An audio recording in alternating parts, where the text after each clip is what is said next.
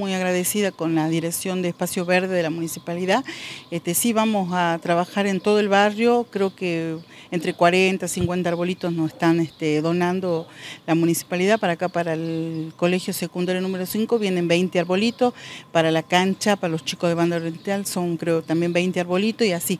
Vamos, después vecinos también de las 124 viviendas también ¿no? han solicitado los arbolitos.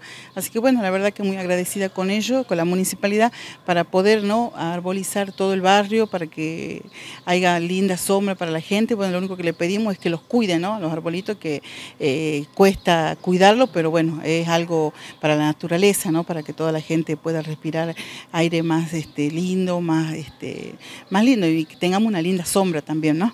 Es lo que venimos trabajando con la municipalidad y bueno, muy agradecida con ello, ¿no? La predisposición del intendente también.